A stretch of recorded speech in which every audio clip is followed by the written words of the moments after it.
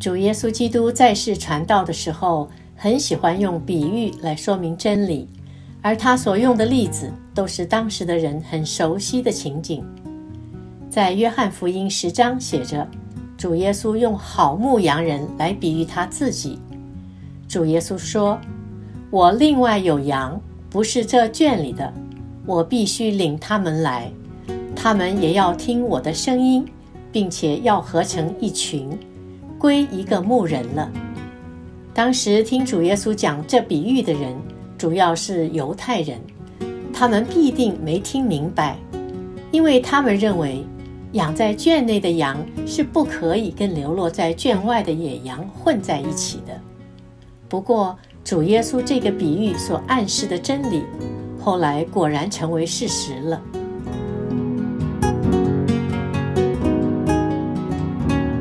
该萨利亚是罗马政府在犹太省的首都，有很多罗马军人驻守在那里。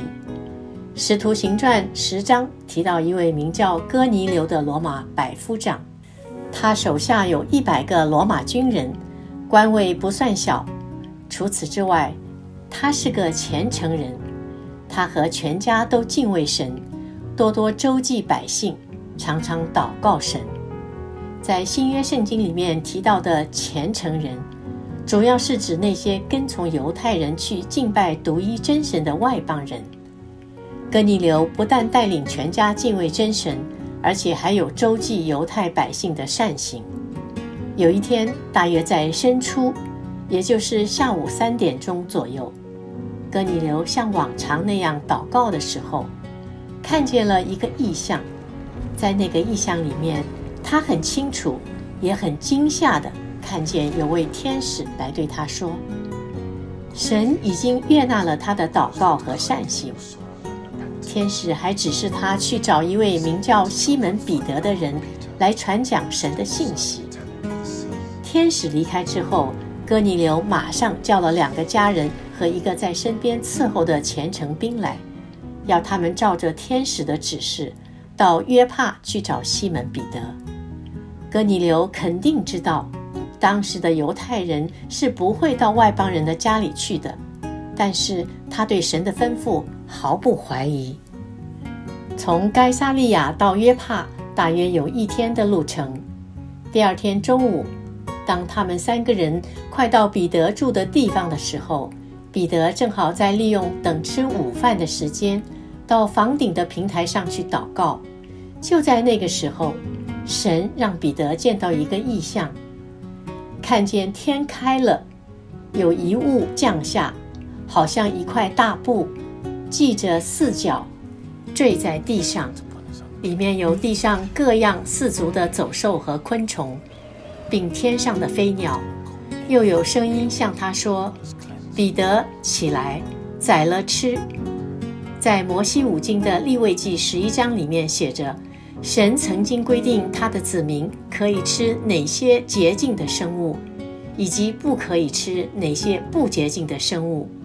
彼得在异象当中看到的，一定都是不洁净的生物，所以彼得感到非常为难。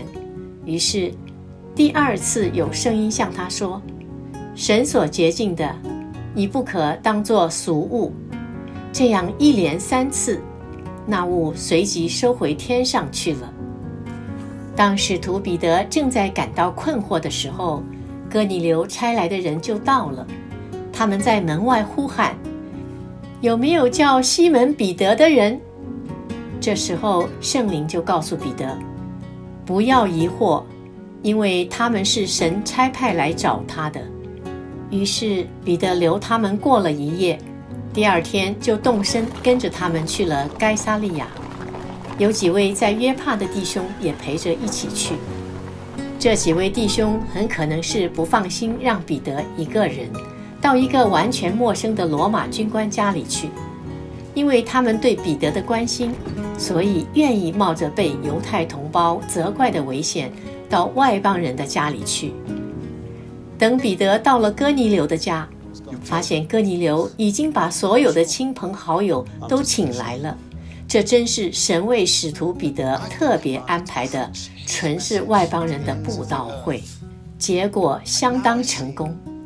当彼得还在说“凡相信主耶稣基督的人，必定会因为主的名而罪得赦免”的时候，圣灵就降在所有听到的人身上，使他们有说方言的恩赐，在那里称赞神为大。彼得看见，既然圣灵亲自降下，证明这些外邦人已经得到了救恩，所以他就奉耶稣基督的名为他们施洗。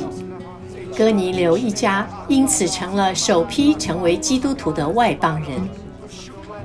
以赛亚书五十五章八和九节写着：“耶和华说，我的意念非同你们的意念，我的道路非同你们的道路。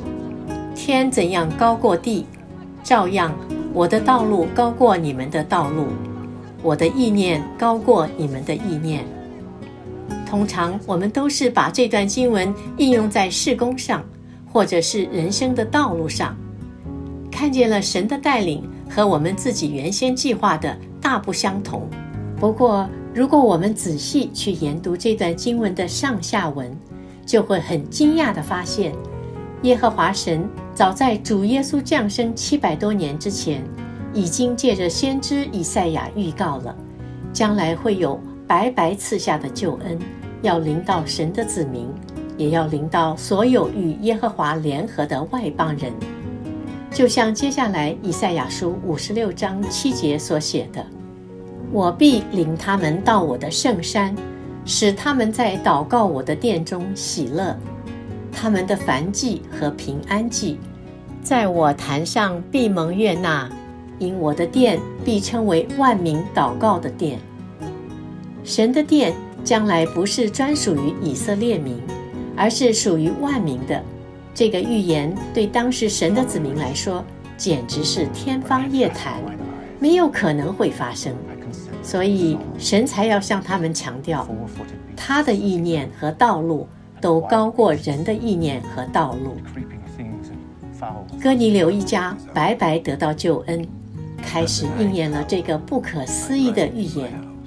神首先借着使徒彼得，为外邦人打开了进天国的大门，而那几位从约帕跟着彼得一起去该撒利亚的弟兄，很有福气的成了目击这个划时代奇迹的见证人。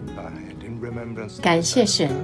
我们也都和哥尼流之家一样，因为信靠主耶稣基督，而从羊圈之外进入了羊圈之内，受到好牧人的喂养和保护。可惜的是，原来应该在圈内的羊，却有很多跑到圈外去了。所以，让我们存着感恩的心，一起来为耶路撒冷祈求平安，也为以色列人。能够早日一家家归信主耶稣基督，而诚心祷告。